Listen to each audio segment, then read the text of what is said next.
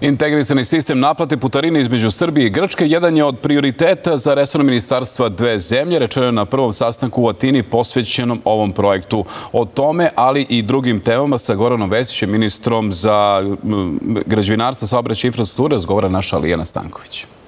Kada ćemo sa istim tagom moći kroz Severnu Makedoniju i Grčku, ali kakvi su planovi za železničko i putno još bolje povezivanje Srbije? O svemu tome razgovaram sa mojim gostom. Gospodine Vesiću, hvala vam prvo što govorite Dobro za Tanjug. Dobro jutro, hvala što ste me pozvali.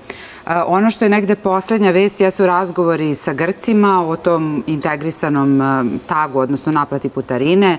Dokle se sa tim stiglo? Vi ste nedavno i bili na tom sastanku. Pa rekli ste, pitali ste kada ćemo moći da se vozimo jednim tagom. Ja se nadam do početka leta. To znači da naši turisti, a leti prilike uđe oko 10.000 automobila dnevno iz Srbije u Grčku, a, da će moći da koriste integrisani tag, oni koji imaju elektronsku putarinu.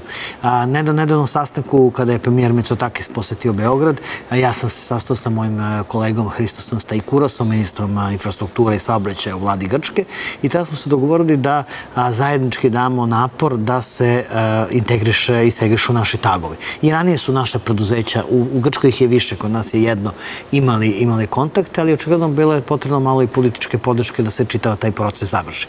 Pre nekoliko dana bio je sastanak u Grčkoj, taj sastanak je bio uspešan, 27.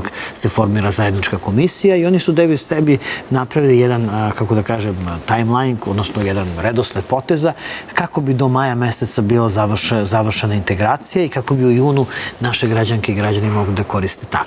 Ja sam siguran da, da to možemo da postignemo i da ćemo zaista tokom leta imati isti tak, već imamo kroz Severnu Makedoniju. Mi inače razgovaramo i sa Crnom Gorom i sa Hrvatskom, sa Italijom i sa Bosnom i Hercegovinom. Vidjet ćemo kada će se i ti, e, ti projekti realizovati, ali moram da kažem sada s obzirom na zaista veliku podršku koju smo dobili od grčkog ministra. A, mislim da je ovaj ovo sa Grčkom najrealnije i da ćemo zaista uspeti da stignemo do letnje sezone. Pa, osim drumskog saobraćaja treba se baviti i železničkim, to je ono što ste vi negde i sebi postavili za cilj i vlada. E, u tom smislu, e, kada možemo da očekujemo da ćemo moći do Budimpešte, to zaista dugo se čeka da stignemo za onako kratko vreme o kome pa, je bilo Prvo reći. da idemo do Subotice. Prvo, to, to nam je prvi korak. A, znači, čuli ste i predsednika Vučića koji je nedavno objavio da će pruga između Novog Sada i Subotice, dužina 108 km, biti završena ranije ranije, pre roka. A, trebalo je da bude završena do kraja ove godine. Ona će biti završena konstrukcijno već 30. jula.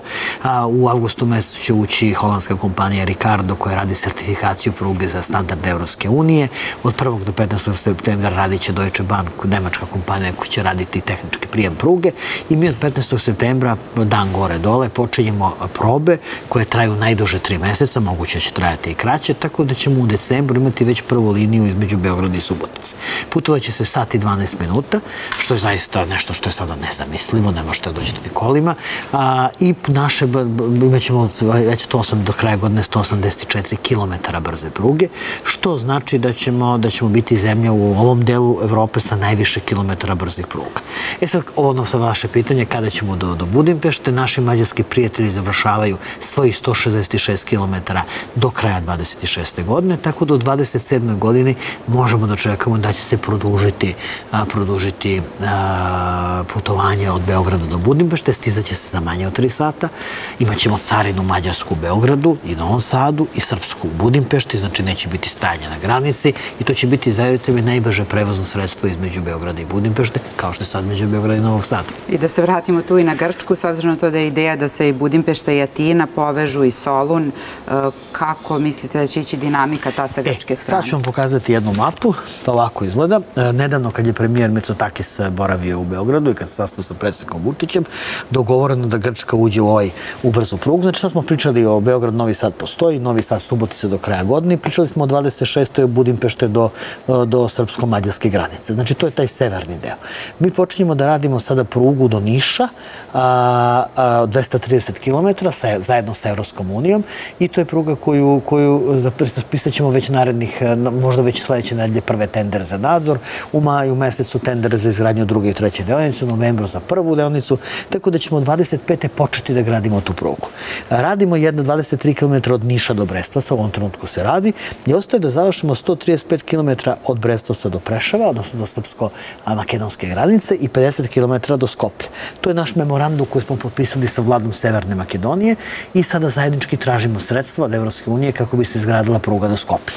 Kada se to bude završilo, kao što možda vidite, Grci imaju prugu između Atine i Soluna za brzinu od 150 km na sat. Oni sad uložu između 300 i 500 miliona u rekonstrukciju te pruge i na sastanku sa premijerom Mitsotakisom, predsjednikom Vučićem, dogovoreno da Grčka uradi ovih 76 km od Soluna do Idomenija, to je granica Severne Makedonije i Grčke, tako da ostaje da se reši samo znači, Skoplje i Domeni u samoj, u samoj, u samoj Makedoniji i mi imamo 1500 12, 12 km pruge od Budimpešte do Atine.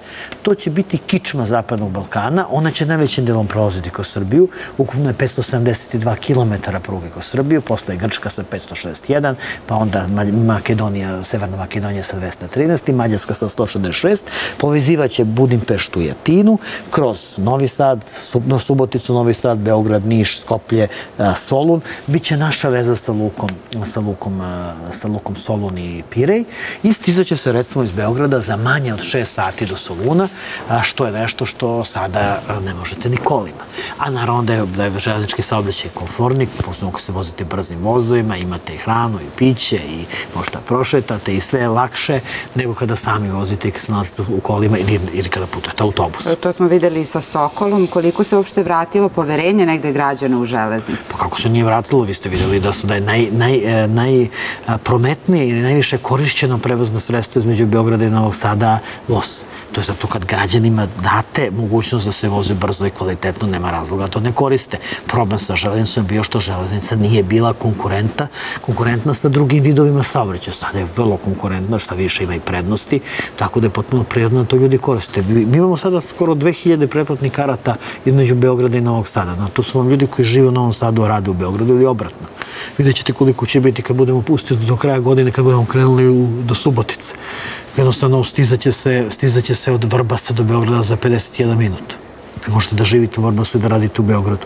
I to potpuno menja način života svih gradova koji se nalaze na pruzi, omogućava ljudima veću mobilnost, omogućava da radna snaga, da, bude, da ne morate da tražite ra, mesto samo tu gde živite, već da naprosto možete da, da birate veće mogućnosti i to će naravno obezbediti razvoj tih krajeva, pogotovo lo, lo, lokalni razvoj svih tih opština. Osim železnice, u planu je izgradnje novih saobraćenica, ono što ste vi najavili jeste vožd Karadžorđe. Tako je. E, šta je sve u planu negde u toku ove godine? Pa, do 2027. godine plan, naš plan, je to je predstavnik Vučić a, predstavio, a, mi treba da završimo 487 km autoputeva i brzih pruga. I to je zaista nešto što je a, nešto što, što će potpuno promeniti Srbiju. Vi znate da od, od, od vremena SFRJ pa do 2012.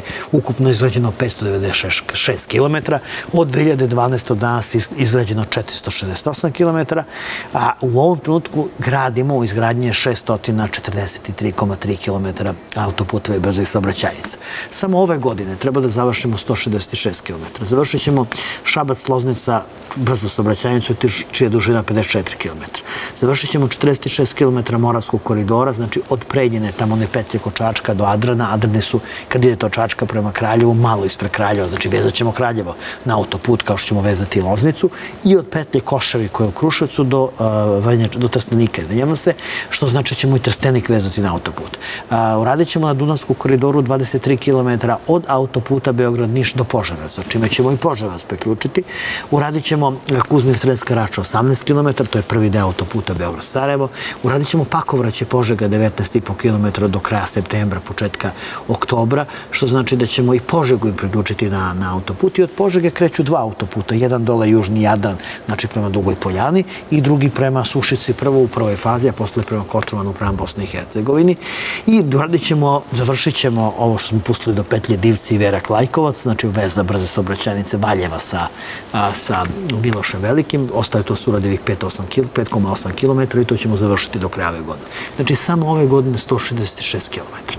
Ja očekujem da prema dinamičkom planu koji smo napravili, ukoliko naravno budemo rešili sve oko finansiranja, što nije sad, što će to na čemu zajedno radim i sa ministrom financija, naravno predsednik o tome vodi računa, da možemo do 15. novembra da počnemo da radimo vošt Karadžorić. To je deo autoput, znači deo brze saobraćajnice, izvinjavam se, znači to nije kompletan vošt Karadžorić, od malog požaraca, to je tamo izlazak kad idete autoputem pa hoćete da idete prema Sopotu, Kosmaju, znači na Mladenovcu, ta, ta se petlja zove Mali požarac, od malih požaraca do Mladenovca, zatim Orašca, Aranđelovca i Čibutkovice koje u Lazarevcu koje je veza sa, sa autoputem Miloš Veliki. To je nekih 80 km, realno možemo do sredine 26. da završimo tu brzo saobraćajnicu i to će biti velika promjena za samo Šumadiju. Recimo, stizaćete iz Beograda do Aranđelovca za pola sata i to pola sata lake vožnje. Što će biti velika šansa i za, za turizam. Za razvoj turizma, za razvoj lokalnih biznisa, za dolazak novih investicija, gde god imate put dolaze investicije, jednostavno drugačije se živi. Kad vi možete iz Aranđela da dođete do Beograda za pola sata, vi možete zaista da, da kažem, nije samo važno za turizam, važno je da možete da živite u Aranđelovcu i da radite u Beogradu. Što sada je moguće, ali nije tako lako. E, I u susret letu i kada smo pomenuli, pomenuli turiste, moramo da, e, moram da vas pitam i za aerodrom, da ne bude da vas zovemo samo kada je neki problem u vezi sa tim. E, bilo je spornih situacija nakon prethodnom periodu, vi ste upozoravali da će biti sankcija za Vansi.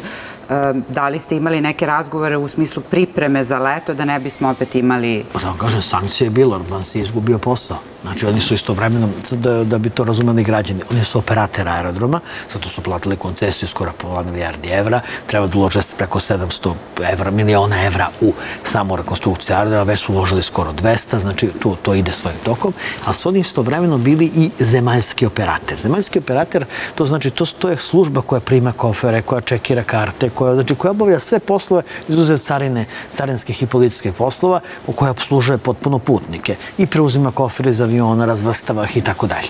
A mi smo, pošto je bilo prošle godine problema, vi to znate, kao, kao i svi naše građanke i građani, ne samo kod nas, bilo je svuda u Evropi, ali nas interesuje što se dešava kod nas. Ja sam im tada rekao da ću, da ćemo kao Srbije liberalizovati tržište. Mi smo od avgusta meseca otvorili tržište da su oni bili jedini uz Air Srbiju i jednog malog francuskog operatera.